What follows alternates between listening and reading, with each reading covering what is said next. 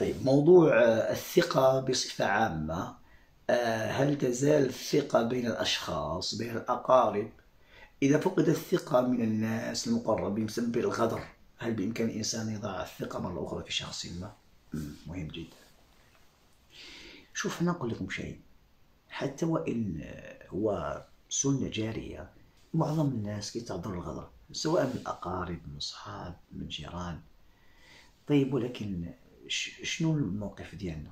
واش حينما نتعرض للغدر مثلا الغدر أسباب صفاته كثيرة.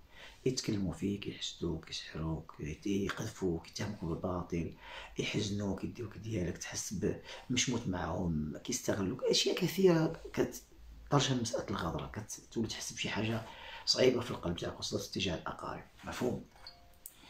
طيب السؤال السؤال آه، هل معنى أننا إذا إذا حصلنا هذا الشيء كله معنى أننا غادي نفقدوا الثقة من الناس لا ما يمكنش. لكن وجب أخذ الح- الحيطة والاحتياط. خذوا حذركم. لكن الإشكال اللي, اللي يكون هو ذاك الذي آذاك. هل تضعه في الثقة مرة أخرى؟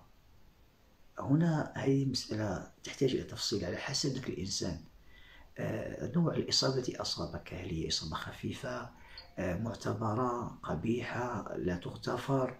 هل له ماضي معك في هذا نفس خبيثة ماضي في الغدر يعرف بالشر أم أنه سقط زلة هذا تفصيل باش نكون منصفين يعني.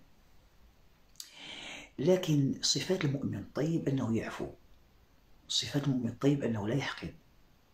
صفات المؤمن الطيب أنه ما كيغدرش. الأول شيء هو أنك لا تضمر شرا لمن جاءك بالشر. لا تنوي مجرد النية أنك تأذيه كما آذاك. فكيفاش تفكر أنك تأذيه أو تقرر أنك تأذيه؟ هذا ما يمكنش يكون هذا المسلم.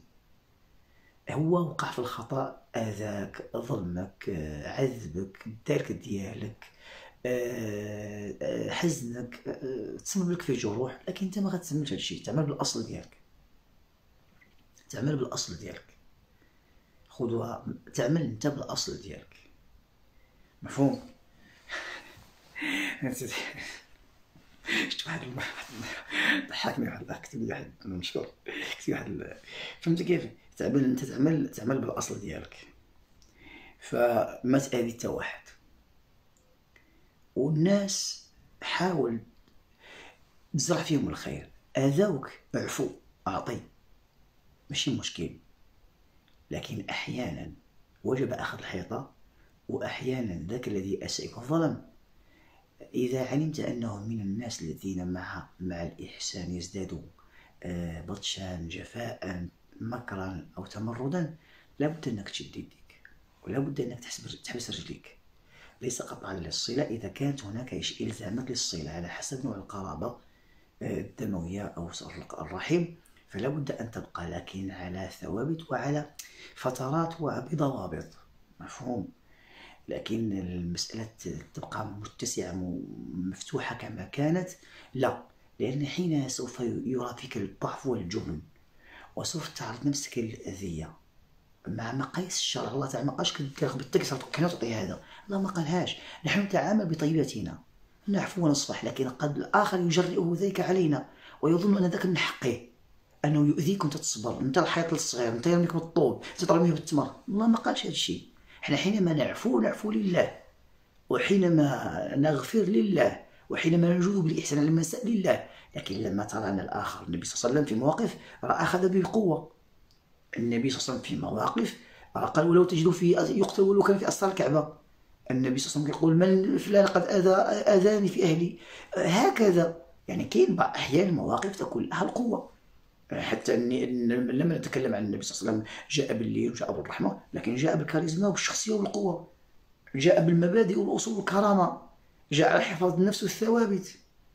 ماشي الإنسان تاني يبقى إليه يميل لهذا كنقول خاصنا نكونوا فاهمين بزاف الحوايج باش نمشيو سير متزن نحتاج كما قرينا الرحمة علاش ما نديرش واحد الدرس؟